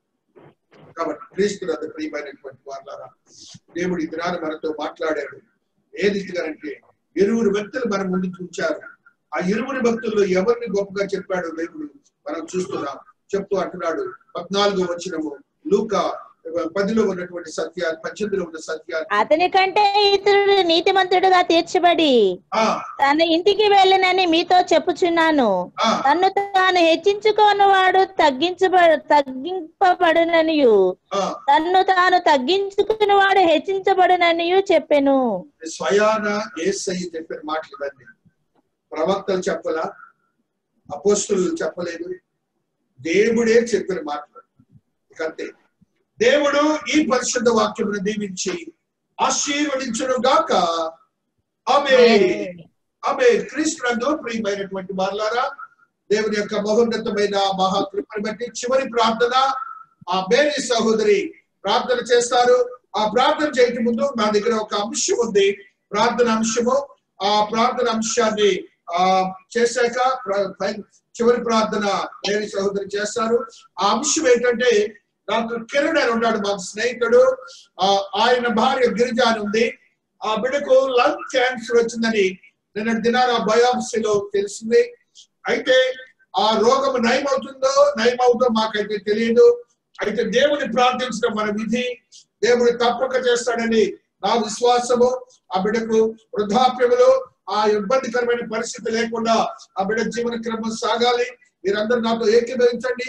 ఆ సహోదరికి దేవుడు అద్భుతమైన స్వస్థత ఇచ్చులాగున. ఆమె ఎందుకంటే దైవజనులు ప్రేమించే వ్యక్తిగా ఉంటున్నది. దైవాలయానికి ఎవరు కనపడ్డా ఆమె యొక్క నిధిలో నుంచి ఎప్పుడు తన జీవి ధన ధన సహాయం చేసే బిడ్డగా ఉంటుంది నీతిమంతురాలుగా జీవిస్తున్నది ఆ బిడ్డ కొరకు మనం ప్రార్థన చేద్దాం. ఒక అంశం ఒక నిమిషం నేను చేస్తాను. నా ప్రార్థన అవటంతో చివరి ప్రార్థన మేరీ సహోదరి చేస్తాను నాతో ఏకీభవించండి. శక్తివంతమైన దేవా మీ పాద సన్నిధిలో ఉన్నాం తండ్రి. మీరు మహాదేవుడవు. మీరు మాకు దేవుడవు నాయనా. ప్రభు. కార్యములు జరిగించే దేవుడవు. శక్తివంతమైన కార్యములు జరిగించే దేవుడవు. నీతియుక్తమైన కార్యములు జరిగించే దేవుడవు సహోదరి నాయన గిరిజ తన భర్త అడుగుతున్నాడు తండ్రి. నీతిమంతుడి నాయన నీతిమంతుడైన డాక్టర్ కిరణ్ నీతిమంతుడిగా చెప్పబడే బిడిగా ఉంటున్నాడు నాయన. భార్య విషయమై వేదన ఉన్నది దుఃఖము ఉన్నది. అయితే నా దేవుడు గొప్పవాడు ఆ బిడ్డకు స్వస్థత ఇస్తాడు. ఆ యొక్క విశ్వాసముతో మా సంఘము ప్రార్థించినప్పుడు అనేకమైన అద్భుతాలు జరిగాయి.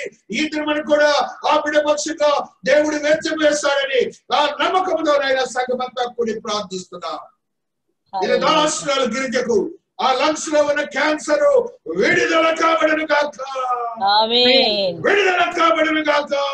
ఆమేన్. నిజం తీసుకువచ్చి మరి రక్తములు ప్రోక్షించి గాయపడిన శరీరం ద్వారా స్వస్థురాలు కాబడను గాక. యేసు నామమున అడుగుచున్నాం తండ్రి. ఆమేన్. ఆమేన్. ఆమేన్. హల్లెలూయా. పరలోక ప్రార్థన. పరలోక ప్రార్థన ఆశీర్వాదాలతో కూడా ముగించుకుంటున్నాం. హల్లెలూయా.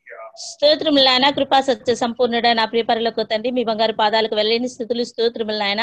ఆశ్చర్యకరుడా ఆలోచనకర్త గొప్ప దేవానికి వందనాలు నాయన. నిచ్చుడు వగుతండి సమాధానకర్త సత్య స్వరూపి దయగలిగిన ఏసయ ప్రేమ కలిగిన ఏసయ జాలు కలిగిన ఏసయ నీకు వందనాలు ప్రభా. అయా నిన్న నేడు ఏకరీతిగా ఉన్న దేవా నీకు వందనాలు. మారని దేవా మార్పు లేని దేవా నీకే వందనాలు ప్రభా. అయా పోయిన శనివారం నుంచి ఈ శనివారం వరకు తండ్రి మమ్మల్ని మా సంఘాన్ని అయా జూమ్ కార్యక్రమంలో పాల్గొనే ప్రతి ఒక్క బిడ్డను మీరు ఎంతగానో కాచి కాపాడి మీ కృపలో భద్రపరిచిన విధానాన్ని బట్టి మీకు వందనాలు మీకు స్థుతులు స్తోత్రములు స్తోత్రములు ఆయన ఏసయ్యా ప్రభా నాయన ఈ శనివారంలో ప్రభా అయ్యా మరి పాల్గొని మిమ్మల్ని స్థుతించడానికి ప్రభా మాకు చేసిన సహాయాన్ని బట్టి మీకు వందనాలు ప్రభా. అయ్యా ఎందరికో లేని ధన్యతను మా యొక్క త్రియక దేవుని మందిరం ద్వారా ప్రభా నాయన జూమ్ కార్యక్రమాన్ని ఇచ్చి మరి నాయన మమ్మల్ని నాయన వారములో అన్ని దినాలు తండ్రి మీ యొక్క నాయన సన్నిధిలో నిలవబడి ప్రార్థించడానికి ప్రభా అనేక మంది కోసం ప్రార్థించడానికి ప్రభా మీకు వాక్యాన్ని వినటానికి నాయన అయ్యా మా త్రియక దేవుని మందిరానికి చూపిస్తున్న కృపను బట్టి కనికరాన్ని బట్టి మీకు వందనాలు మీకు స్థుతులు స్తోత్రములు స్తోత్రములు నాయన. అయ్యా మా సంఘానికి మీరు ఎంతో ఆధిక్యత ఇచ్చారు దేవా మీకు వందనాలు ప్రభా. మా సంఘాన్ని ప్రత్యేక పెంచుకున్నారు దేవా మీకే వందనాలు మీకు స్థుతులు స్తోత్రములు స్తోత్రములు నాయన.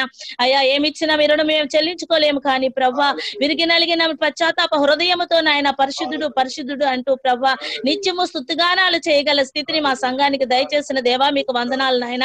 అయ్యా మీకు స్థుతులు స్తోత్రములు స్తోత్రములు నాయన ఆ జూమికి ఉపయోగపడుతున్న పరికరాలను మీ స్వాధీనంలో ఉంచుకుని ప్రభా మంచిగా వాడపడటానికి మీరు కృప చూపిస్తున్నారు దేవా. మీకు వందనాలు మీకు స్థుతులు స్తోత్రములు స్తోత్రములు. తండ్రి మా అభిషక్తులు వారి ఇరువురిని మీరు దీవించండి ఆశీర్వదించండి నాయన వారికి మంచి ఆరోగ్యమును శక్తిని బలమును దయచేయమని అడుగుతున్నాను దీర్ఘాయుష్ దయచేయమని అడుగుతున్నాను దేవా నీకు వందనాలు.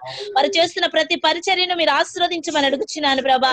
అనేక ఆత్మలు మీకు సంపాదించడానికి కోసం మీ కృపను దయచేస్తున్నందుకు వందనాలు ప్రభా. వాళ్ళు చేస్తున్న ప్రతి విజ్ఞాపన మీరు ఆలకిస్తున్నందుకు వందనాలు ప్రభా.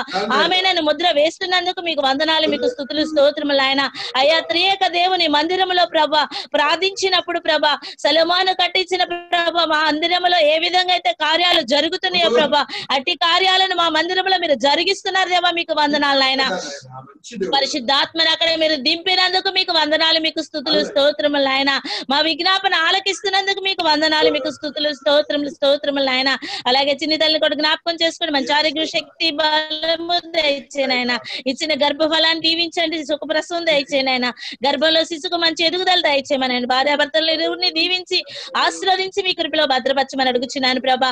అలాగే మా సంఘ బిడ్డల్ని జ్ఞాపకం చేసుకోండి నాయన. వృద్ధులు మొదలుకుని చంటి బిడ్డల వరకు కాచి కాపాడమని అడుగుచున్నాను నాయన.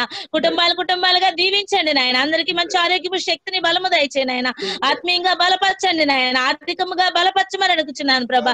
ఏ కుటుంబాన్ని చేయి విడవవద్దు ప్రభా నాయన. అయ్యా సంఘానికి కూడా కు- తోడుకుని రమ్మని నన్ను అడుగుచున్నాను ప్రభా. ఏ ఒక్కరు ప్రభా మరి నాయన వ్యర్థంగా సమయాన్ని గడపడానికి వీల్లేదు నాయన. బల భయ ఆందోళనకు గురి అయి ప్రభా. మానసికంగా ప్రభా వాళ్ళు కృంగిపోయి నాయన ఏ విధంగా ఇంట్లో కూర్చోడానికి వీల్లేదు ప్రభా. ధైర్యం కలిగిన దత్తపుత్ర ఆత్మ కలిగి నాయన మందిరానికి వచ్చి మిమ్మల్ని స్తుతించడానికి సహాయము దయచేయమని అడుగుచున్నాను ప్రభా. ప్రతి బిడ్డ హృదయాన్ని తెరవ చేయండి నాయన. ప్రతి బిడ్డ హృదయంలో ధైర్యాన్ని నింపమని అడుగుచున్నాను ప్రభా. నా ప్రభు నాతో ఉన్నాడు నాలో ఉన్నాడు అనేక ధైర్యం దయచేయమని అడుగుతున్నాను ప్రభా. అలాగే ప్రభా అయ్యా మరి టచ్ ఫోన్లో ఉన్న ప్రభా పరికరాలు ఉన్న ప్రతి ఒక్క బిడ్డ కూడా నాయన జూమ్లో పాల్గొని పరిశుద్ధుడా నాయన. అయ్యా మీ కార్యక్రమాలు చూడటానికి మీ సన్నిధిలో పాల్గొనడానికి సహాయం చేయండి ఆయన ఆ ఒక వస్తువుని ప్రభా ఎంతో సమయం వ్యర్థమైన వాటికి ఉపయోగిస్తున్నాం కానీ ప్రభా అయ్యా మీ సన్నిధికి వెతకటానికి మేము ఉపయోగించలేకపోతున్నాం మేము ప్రభా. క్షమించి మా సంఘస్థులు నాయన. ఆ యొక్క అవకాశం ఉన్న వాళ్ళందరూ నాయన జూమ్లో పాల్గొనటానికి సహాయం దయచేయమని అడుగుచున్నాను.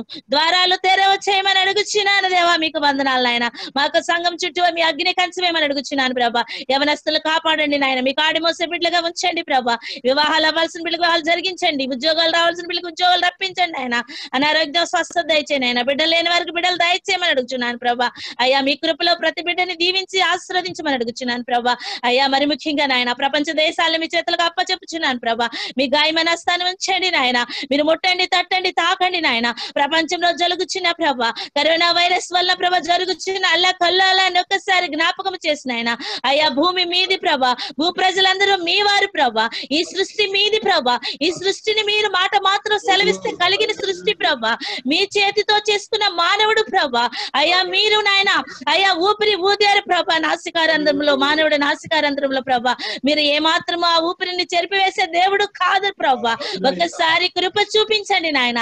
కనికరమ చూపించమని అడుగుచున్నాను ప్రభా. అయ్యా అయ్యా కరోనాని ఏసు నామంలో ప్రపంచం నుంచి తరిమి కొట్టమని అడుగుచున్నాను ప్రభా. నీకు వందనాలు నాయన. త్వరగా వ్యాక్సిన్ వచ్చి అందరితో అందుబాటులోకి రావడానికి సహాయం చేయను ఆయన మీరు మాట మాత్రం సెలవిస్తే చాలు ప్రభా. అయ్యా అయ్యా కనికర సంపన్నుడు నాయన. కరుణామయుడు ప్రభా. దయగలిగిన దేవుడు ప్రభా. నీకు వందనాలు నాయన. అయ్యా అయ్యా పరిశుద్ధుడు ఒక్కసారి మీ కనికరాన్ని ప్రపంచం మీద చూపించమని అడుగుచున్నాను ప్రభా. మీ కృపను ప్రతి ఒక్క మనిషి మీద చూపించమని అడుగుచున్నాను ప్రభా. ప్రతి ఒక్క భయం భయాందోళనలో ఉన్న బిడ్డలను ఒక్కసారి జ్ఞాపకం చేసుకోండి నాయన.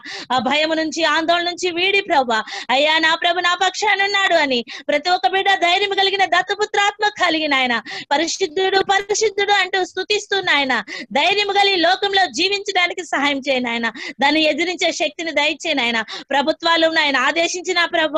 ఆజ్ఞలు గైకొనుచు ప్రభ. వ్యతిరేకంగా ప్రజలు జీవించకుండా గుంపులు గుంపులుగా చేరకుండా ప్రభ. అయ్యా అయ్యా. అయ్యా పరిశుద్ధుడా అయ్యా మంచిగా వ్యక్తిగత రక్షణ పాటిస్తూ ప్రభ భౌతిక దూరం పాటిస్తూ జీవించే యోగ్యతను ప్రజలకు దయచేయమని అడుగుచున్నట్టు జ్ఞానంతో నింపమని అడుగుచున్నాను. దేవానికి వందనాలు ప్రభ. అయ్యా మా దేశాన్ని కూడా జ్ఞాపకం చేసుకున్న ఆయన అయ్యా మా దేశం కూడా మూడో స్థానంలో ఉంది ప్రభ. దాని నుంచి తప్పించమని అడుగుచున్నాను ప్రభ.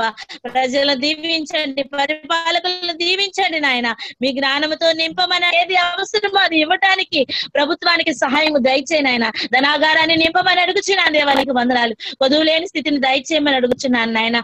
అనేక మంది ఉపాధి కోల్పోయి ఉన్నారు ప్రభా. ఆ బిడ్డల్ని జ్ఞాపకం చేసుకోండి నాయన. మీ కరుణా వాత్సల్య గల హస్తాన్ని వారిపై ఉంచండి ప్రభా. వాళ్ళకి కావాల్సిన సహాయం దయచేయ నాయన. ఎవరు ఆకలితో అలమటించడానికి వీల్లేదు ప్రభా. మీ కృప దయచేయమని అడుగుతున్నాను నాయన. అయ్యా రోజువారి వ్యాపారాలు చేసుకునే వాళ్ళు రోజువారి పనులు చేసుకునే వాళ్ళు ప్రభా. షాపుల్లో పని చేసుకునే వాళ్ళు అనేక మంది ప్రభా. అయ్యా పనులు లేక ప్రభా ఎంతో వ్యధన అనుభవిస్తున్నారు ప్రభా. అదే ఏది అయినప్పటికీ మీ కృప వారి మీద నుంచి మీ కనికరం చూపించమని అడుగుచున్నాను దేవా నీకు వందనాలు నాయన. యేసు నామంలో కరోనా వైరస్ నుంచి ప్రపంచాన్ని తప్పిస్తున్న విధానాన్ని బట్టి మీకు వందనాలు. ఎవరు భయ ఆందోళనలు చెందకుండా ప్రభా అయ్యా ఇదే తరుణము ఇదే సమయము అని అయ్యా అందరూ ప్రభా అయ్యా మారు మనసు పొందాలి. విగ్రహారాధకులు కూడా మీరు మార్చమని అడుగుచున్నాను ప్రభా. వారిని మీరు ఆకర్షించమని అడుగుచున్నాను ప్రభా. నీకు వందనాలు ప్రభా. ప్రతి మోకాలు మీ సన్నిధిలో వంగాలి నాయన. ప్రతి నాలుక మిమ్మల్ని స్తుతించాలి ప్రభా. అట్టి ధన్యకరమైన జీవితాలు ప్రతి బిడ్డకి ప్రపంచంలో దయచేయమని. తద్వారా కరోనా వైరస్ని ఏసు నామంలో అరికట్టమని. మీరే మహిమ ఘనత ప్రభావాలు పొందుకోమని. మా ప్రార్థన ఆలకించి ప్రతిఫలం దయచేయమని. ఏసై అతి పరిశుద్ధ నామంలో అడిగి వేడుకుంటున్నాం ఏసయ్య. మా తండ్రి రాజ్యము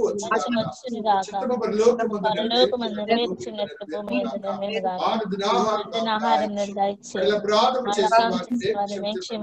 మా అపరాధులు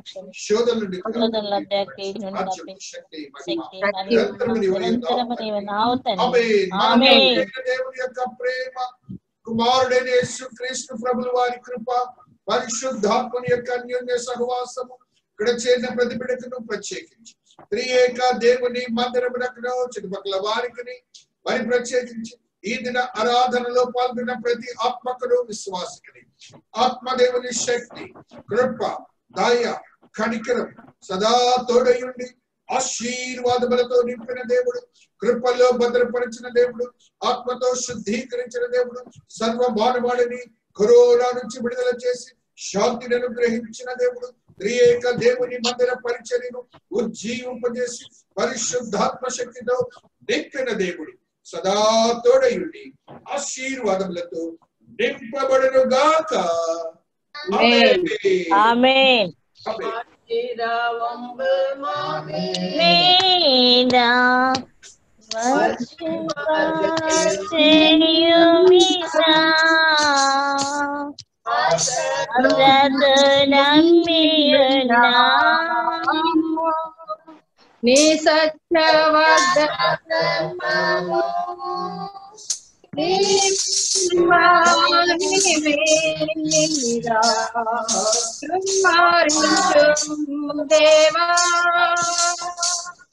సత్యవద్దము దేవా బ్రహ్మద ప్రేమ కుమారించుము దేవా amen praise praise Lord praise Lord praise Lord praise Lord God bless you all ప్రతి మంగళవారము గురువారము శనివారము ఆరు గంటల ముప్పై నిమిషములకు ఇదే రీతిగా జూమ్లో ఆరాధన క్రమాలు ఉంటాయి. మనకి సానుకూల పరిచే సమయం వచ్చేంత వరకు రేపు కూడా తొమ్మిదిన్నరకి జూమ్లోకి రండి. తొమ్మిది గంటలకి ఆరాధన క్రమం ప్రారంభమవుతుంది ఇక్కడ. అందరూ వచ్చేటప్పటికి తొమ్మిదిన్నర అవుతున్నది. ఆ రీతిగా నైన్ థర్టీ నుంచి ఆరో- ఆరాధన క్రమం ఉంటుంది సంస్కారం ఉంటుంది. మీకు సమస్య లేని వాళ్ళు ఆరాధన క్రమం రావాలని ఆహ్వానిస్తున్నాను అదే రీతిగా మీ ఆత్మీయతలో ప్రార్థనలు కొనసాగండి.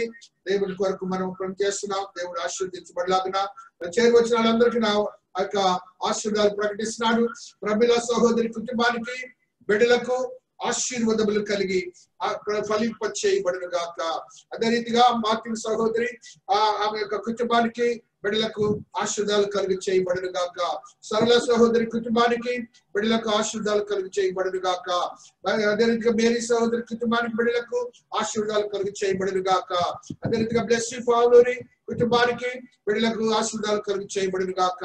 అదే రీతిగా కరుణాకర్ అదే రీతిగా కావ్య జ్యోతి కుటుంబాలకి దేవాతి దేవుడు ఆశీర్వాదాలు కలిగి చేయబడిన గాక.